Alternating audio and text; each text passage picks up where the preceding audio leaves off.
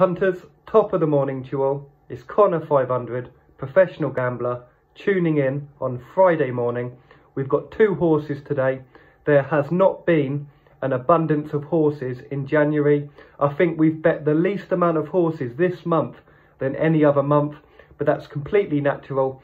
Don't go looking for things when there's other things right in front of your face that are better, guys. We've got two horses today and it's concentrated on one of them.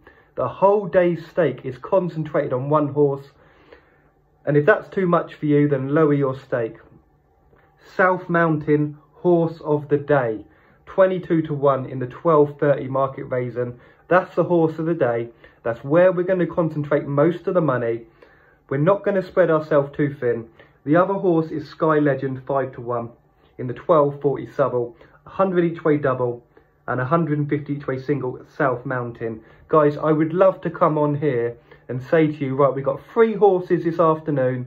We've got one in the early evening, then we've got one at Dundalk tonight. It would be fun, wouldn't it? But I'm not here for fun.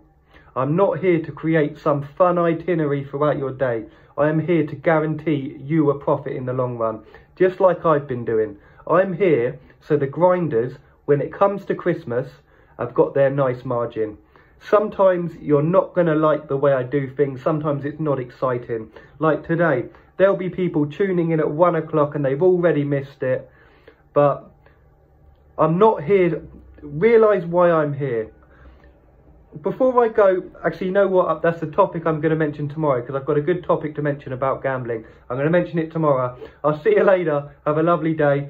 Don't be afraid to get mostly on South Mountain and don't be afraid to walk away a loser at the end of the day. I'm going to say that again. Don't be afraid to walk away a loser at the end of the day if you're confident you can grind it out over a longer time. That's why people back favourites all the time. That's why people will go in and back a 6 to 5 favourite because they know they might walk out of that shop with a bit extra.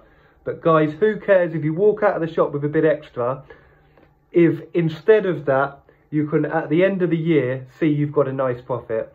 Hope you understand what I'm saying. I'll see you later. Have a lovely day. I need to get the lighting in here sorted out a lot more. I'm going to do it because I'm, I'm, I'm going to try and make it really nice, like a nice little Connor 500 studio. That's the plan anyway, because I'm, I'm going to be here a little while. I'll see you later. Take care.